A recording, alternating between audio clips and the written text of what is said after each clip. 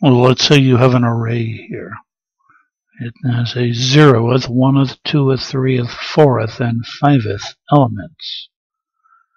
And it contains 0, 100, 200, 300, 400, and 500 respectively. You want to print these guys out alongside of their element index. That's what we're going to do. There are a couple of ways to do that. Let's do three of them. First, I'm going to create a list. What's going to be in that list? Well, I'm going to populate it as follows.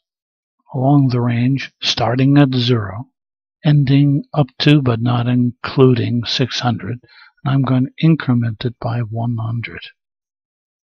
So that should give me 0 through 500. Let's see if that works. And it does.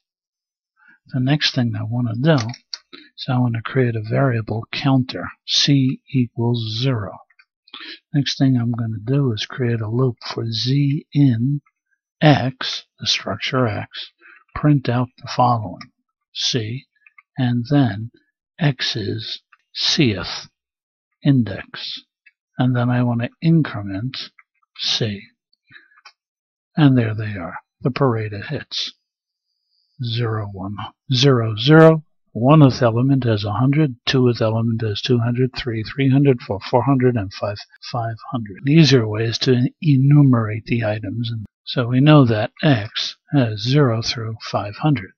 So I key in for z in x. No, uh, could you enumerate x for me? And then race through that thing and print out z. Oh, where did I go wrong? Eh, dun, dun, dun, dun, for Z. Oh, I can't believe I just did that. oh my goodness. I am so fired. The name of the array is X, not Z. Oops. Alright, for Z and in, enumerate X, then print out Z. And Bada bing, bada bang, bada boom, it works. Not only has an enumeration, an enumeration occurred, but in addition, they were all placed into tuples. Wow. That's nice. Now there's another way to do this. Here we did for z in enumerate x, but maybe you don't want it to be in a tuple. So if you don't want it to be in a tuple, for a comma b in enumerate x. Ah, I'm in typo hell. One more time. Put the colon in there. There we go. For a comma b in enumerate x colon print a comma b. Now it'll just list them out on the screen but it's not going to put them into a tuple. And there they go. That's about all I have to say for now. This is George Boole.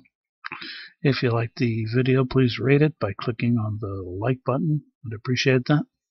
And I'll see you on the next video. Bye bye now.